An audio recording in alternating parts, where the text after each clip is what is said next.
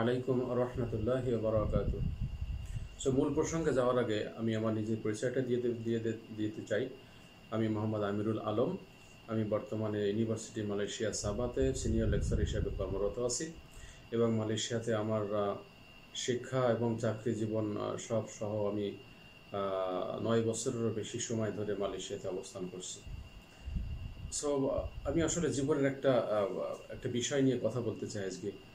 So আমি feel করেছি এটা আমার একটা একটা লাইফের একটা সময়ে। সো বারবার এটা চিন্তা করেছি এটা কি করে উপস্থাপন করা যায় মানুষের সামনে। সো আমি আসলে পেরে উঠি নাই।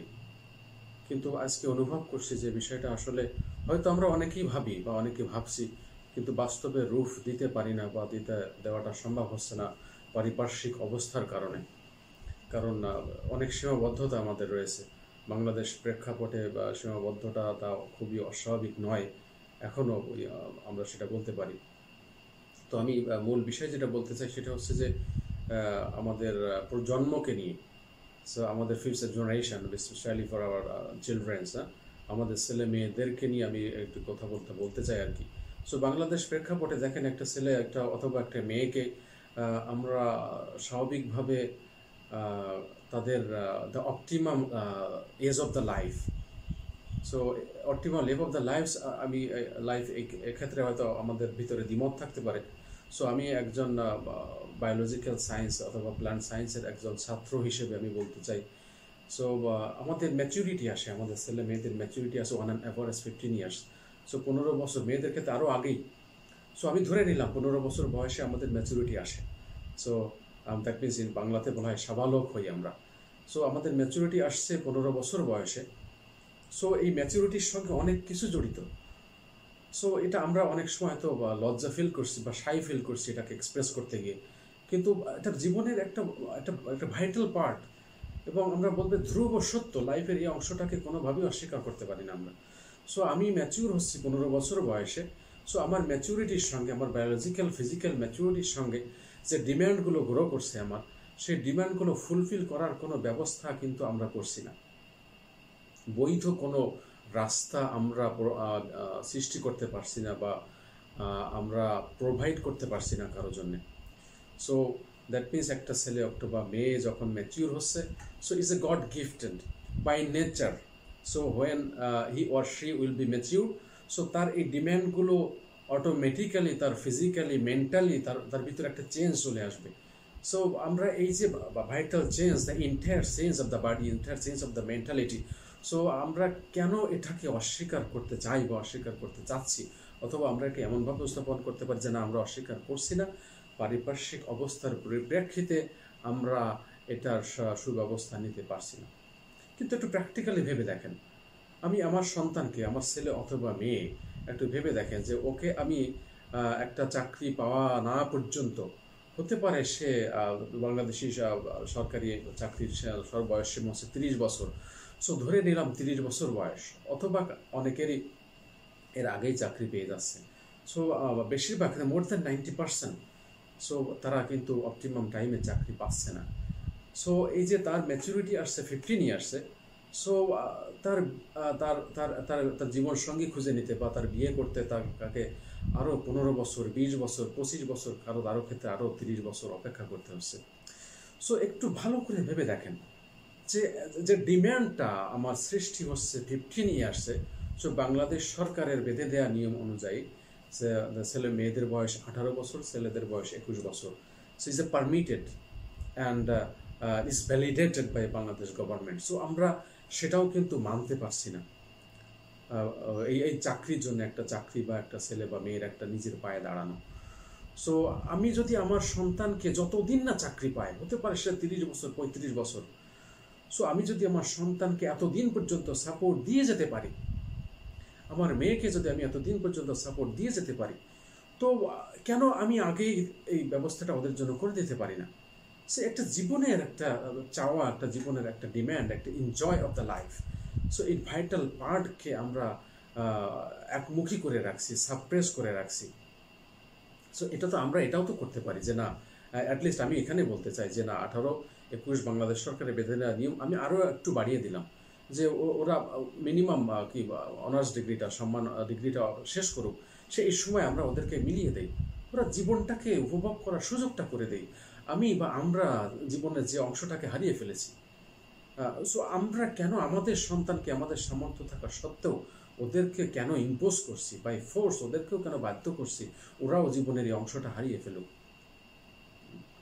সো অথবা অথবা আমরা এটা করে ভাব, এটা ভাবতে পারি যে কতজন দেখেন যে অথবা আমরা ওদেরকে বাধ্য করছি যে একটা ইলিগাল ইলিগাল রিলেশনশিপকে লং টাইম কন্টিনিউ করতে, অথবা by any by many means he or she they are fulfilling the their demand the physical mental the biological demand by somehow কিন্তু আমরাই কিন্তু ইনডিরেক্টলি ওর ডিরেক্টলি তাদেরকে বাধ্য করছি এটা করার জন্য। সো আমরা কিন্তু চাইলেই এটার একটা সুন্দর সমাধান দিয়ে দিতে পারি, নিয়ে আসতে পারি। সো আমরা বাবা মারা যারা, আমাদের সন্তানকে ওরা ওরা যখন অনার্স ডিগ্রিটা শেষ করে ফেলুক, তো ওদেরকে আমরা মিলিয়ে দেই।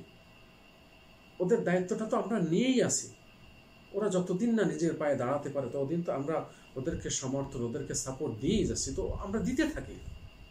ওদের ব্রেন থেকে স্ট্রেসটাকে সরিয়ে দেই। সো একটু ভেবে দেখেন তো, আমরা আপনার জীবন, আমার জীবনের কথা, যে it's a vital stress mental anxiety mental depression how we had to control our self যারা কন্ট্রোল করতে পারি নাই, তারা somehow illegally obviously not legally আমরা, আমাদের ডিম্যান্ডকে ফুলফিল করেছি, যেটা কখনোই সমর্থিত নয় লিগ্যাল নয়। সো আমি একজন মুসলিম হিসাবে আমি বলতে চাই যে, ইসলাম আমাদেরকে বলছে যে, তোমার যখন বয়স হয়ে যাওয়ার সত্ত্বেও তুমি বিয়ে করতে পারছ না সো তুমি কন্টিনিউ রোজা রাখতে থাকো, রোজা রাখো রোজা রাখো। Because I have to control my self কিন্তু এটা কে কে পারবে, কখন পারবে? যখন কেউ তার বাস্তব জীবনে ইসলামকে প্র্যাকটিক্যালি ওবে করে practically I mean practically Muslim সে মানে সে কোরআন কোরআন হাদিস জানে এবং মানে। তার ক্ষেত্রে ছাড়া it's totally impossible or or or আমরা আমরা যদি আদার রিলিজিয়ান তাদের ক্ষেত্রে দেখি যে যারা নিরামিষ ভোগী সো এই নিরামিষ ভোগীটা কেন আসছে? To depress to suppress his biological physical need so এটা এটা তো নর্মাল না আসলে। So we are lead we can not force anyone to lead a normal life আমাদের সুযোগ আছে, সামর্থ্য আছে, আমরা আমার সন্তানকে যেমন সাপোর্ট দিয়ে যাচ্ছি একটা নির্দিষ্ট সময় পর্যন্ত, আমরা সাপোর্ট দেই দুই পক্ষকেই। আমি যদি মেয়ের বাবা হয়ে আমার মেয়েকে সাপোর্ট দিই, আমার ছেলে ছেলেকে সাপোর্ট দেই, ওদেরকে একটা সুন্দর জীবন উপহার দেই। ওরা ওরা ওরা ওদের জীবনকে একটু উপভোগ করুক। কারণ যে ডিম্যান্ডটা আপনার পনেরো বছর বয়সে সৃষ্টি হচ্ছে, আপনি সেই ডিম্যান্ডটা ওকে সুযোগ দিচ্ছেন আরও বিশ বছর পর। সো আপনি আপনি যদি, আমি একজন প্ল্যান্ট সায়েন্সের ছাত্র আজকে আমার ফসল কাটার সময় হয়ে গেছে। আমার ফসল, আমার ধান, আমার সবজি যেটাই বললাম এটা fully mature I have to harvest now কিন্তু আমি যদি অপেক্ষা করি যে না, আমি আরও এক মাস পরে হারভেস্ট করব। সো কি পাবো আমি সেখান থেকে বলেন?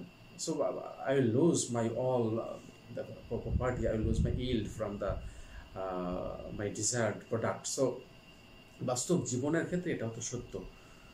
যে বা আমরা আমাদের ডিম্যান্ডটাকে ওয়েদার আমি ওটাকে সাপ্রেস করে রাখতে বাধ্য করছি অথবা আমরা ডিরেক্টলি অর ইনডিরেক্টলি তাদেরকে বাধ্য করছি একটা ইলিগাল রিলেশনশিপকে এট লং টাইম কন্টিনিউ করার জন্য।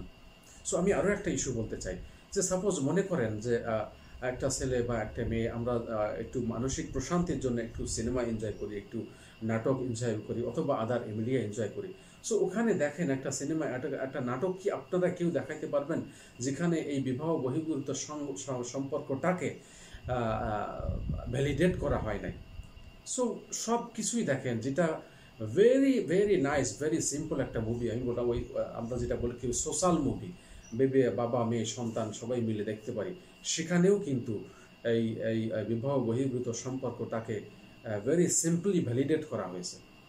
সো আমার সন্তান, একটা বিবাহযোগ্য সন্তান আবার বিবাহযোগ্য একটা মেয়ে, ছেলে বা মেয়ে, ওরাও কিন্তু একটু মানসিক প্রশান্তির জন্য ওটাকে এনজয় করছে। সো ওখানে যে জিনিসগুলো ওকে দেখানো হচ্ছে সো ওর ভিতরেও তো এই ডিম্যান্ডটা সৃষ্টি হচ্ছে, যে না, আমিও এরকম একটা সুন্দর জীবন চাই। সো এটা এটা ফুলফিল করার সমস্ত ক্ষমতা আমাদের কাছে রয়েছে, তারপরেও আমরা এই সুযোগটা করে দিচ্ছি না। হ্যাঁ বাংলাদেশের চাকরি প্রেক্ষাপটে আপনারা বলতে পারেন যে আপনারা দেখেন ভেরি সিম্পলি একটু চিন্তা করে দেখেন বিমান বাহিনী সেনাবাহিনী, নৌবাহিনী, পুলিশ, এদেরকে এন্ট্রি সিলেবাস কিন্তু very very very early stage সতেরো বছর, আঠারো বছর বয়সে এরা চাকরিতে জয়েন করছে। এবং চাকরি তিন বছর if if I am not mistaken তিন বছর হইলে ওদেরকেও বিয়ে করার পারমিশন দিয়ে দেওয়া হয়েছে। তো ওরাও ওখানেও কিন্তু একটা সিস্টেমকে ডেভেলপ করা হয়েছে।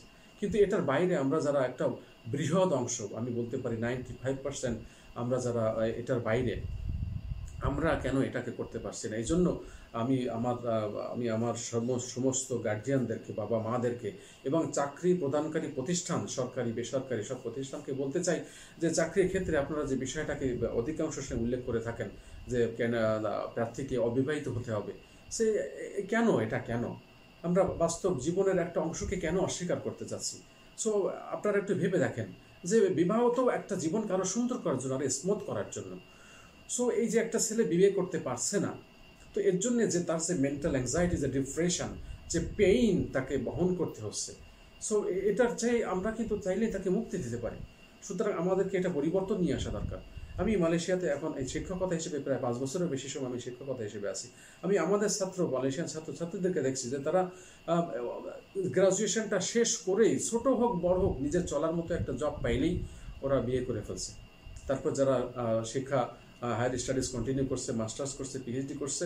সো এর ভিতরে দেখা যাচ্ছে পিএইচডি শেষ করা তিনটা, চারটা বাচ্চা নিয়ে শেষ করছে পিএইচডি সো এটাকে তারা একটা জীবনকে এনজয় করছে, সাথে সাথে জীবনকে একাডেমিক বলি বা অন্য লাইন বলি, তাদের জীবনকেও গড়ে তুলছে। সো আমি আমি আমি করজোড়ে মিনতি করতে চাই আমাদের সকল প্রতিষ্ঠানকে, সকল বাবা মাকে, সকল গার্জিয়ানকে সকল চাকরি প্রদানকারী প্রতিষ্ঠানদেরকে। যে আমরা আমরা আমরা এটাকে একটু সুন্দরভাবে ভাবি। আমরা একটা সুন্দর, একটা স্বাভাবিক সুন্দর জীবন একটা পরিবেশ, একটা সোসাইটি বিনির্মাণে আমরা অনেক বড় ভূমিকা রাখতে পারি। এর দ্বারা সমাজের অনেক আপনার ইলিগাল রিলেশনশিপ অনেক খারাপ অবস্থা থেকে আমরা মুক্তি পাবো। সো এটা নিয়ে আপনারা অনেক নেগেটিভ পজিটিভ অনেক কিছুই ভাবতে পারেন। কিন্তু বাস্তবিক পক্ষে, বাস্তব জীবনমুখী চিন্তা করা আমাদের করা দরকার। এবং এই যে বলতে পারেন যে হয়তো চাকরি ছাড়া এদের বিবাহ বহির্ভূত আই মিন বিয়ের পরে অনেক ডিফিকাল্টিস রাইজ করতে পারে। সো আমরা বাবা মারা মিলে এটুকুলোর খুব সুন্দর সমাধান দিতে পারি। আমরা যদি ওদেরকে সাপোর্ট দিই ওরা কখনো এই ধরনের পরিস্থিতির মধ্যে পড়বে না। যেহেতু আমরা বাবা মারা সাপোর্ট দিতে পারছি না, এজন্য একটা সার্টেন এজে গিয়ে আপনি দেখেন এখন আমাদের ফ্যামিলি ফ্যামিলি বলব যে আমাদের সংসারের যে বন্ধনটা, এটা অনেক উইক হয়ে গেছে। সো কারণ একটা ওভার এজে গিয়ে একটা গিয়ে আমরা যখন ইয়ে করি, তখন অনেক কিছু অ্যাডজাস্টমেন্টে আসলে সমস্যা হয়ে যায়। সো আমি আমি সবাইকে করজোড়ে মিনতি করব, আপনারা একটু ভাবেন, আমরা সবাই একটু ভাবি, আমরা একটা সুন্দর জীবন আমাদের সন্তানদেরকে উপহার দেই, ওদের জীবনটাকে এনজয় করার সুযোগটা করে দেই। কারণ যখন যেটা দরকার, সেটা আসলেই না দিতে পারলে ওটা আসলে ভ্যালুলেস হয়ে যায়। তখন আসলে মানে কি বলব যে মানে বেঁচে থাকতে হয় তাই। তো সেরকম যেন না হয়।